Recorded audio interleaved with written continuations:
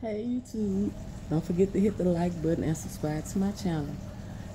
Okay, so today I want to talk about a topic that's been heavy on my heart. I want to know why when men cheat, their spouse feels the need to blame the female instead of blaming both of them. In most cases, it's blaming the male because they don't say tell let the female know that they're married. And I'm under the assumption that it's this old school way of thinking that men have programmed in the women's heads. Yeah, that men have programmed in the women's heads, you know, because they the ones that created all the rules. And so apparently they, you know, act like they have no control over the things they do. And they're easily influenced like a child.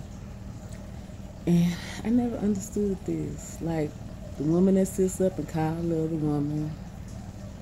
Uh, I had people inbox me about men that I we never even communicated before in our life. They might just be my friend on Facebook, and I don't even know these people.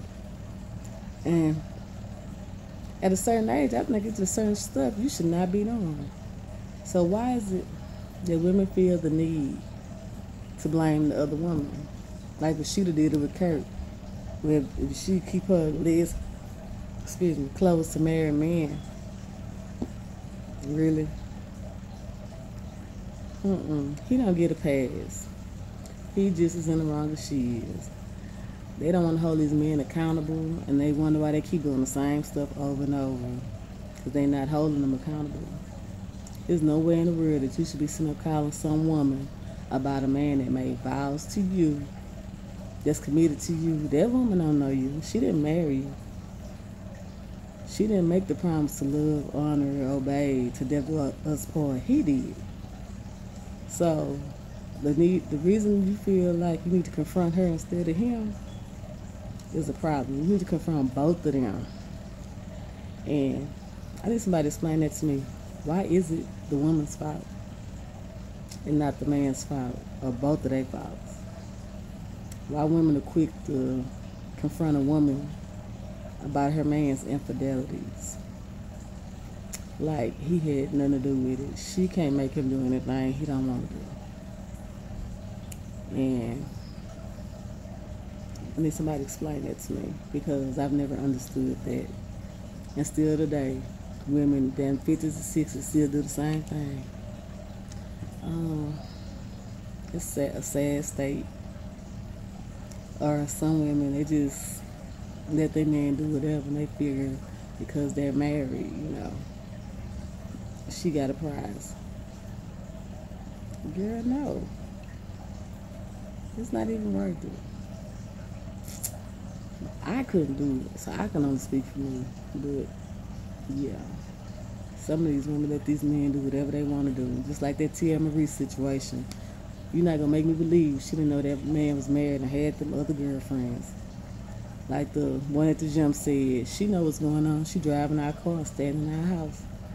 So they're not mad about it. Nobody else should be, but a lot of women is just putting up with a lot of things from these men, a lot of things from these men, and I need them to hold the men accountable and not go running, you know, trying to jump on a woman's case about shit that they husband doing.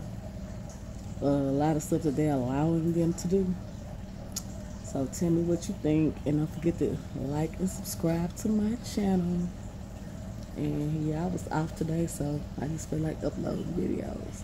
But yeah, I, I did right there. It's been going on a lot. It's been going on a lot. Yeah.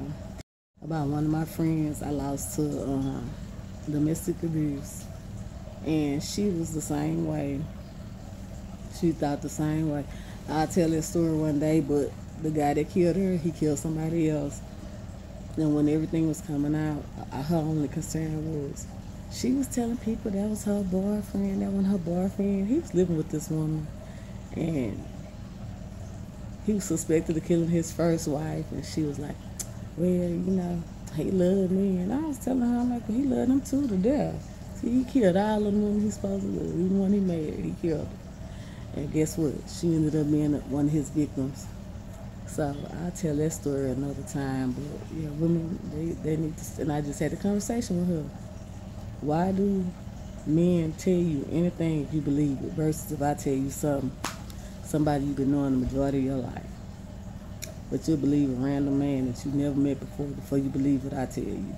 Because she done met people that work with me and everything, and I tell her, yeah, I know him. I met his wife before, this, that, third. Then the next thing you know, girl, guess what? His wife called me. And I'm like, nah, you said he ain't married, remember?